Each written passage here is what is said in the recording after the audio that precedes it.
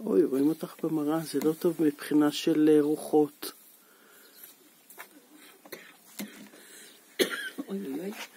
הנה, את יכולה לבוא ולעשות לנו הפתעה, לפתוח, אם את מוכנה כמובן, לפתוח את הדלת של, ה... של מתחת לארון, אה, מתחת לכיור. כל שתבקשי. הפתעה, רגע, הנה, הפתעה.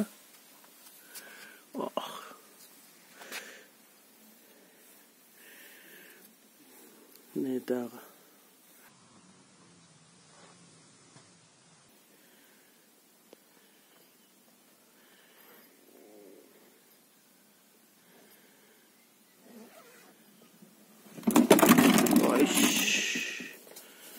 איזה רוח באה עלינו.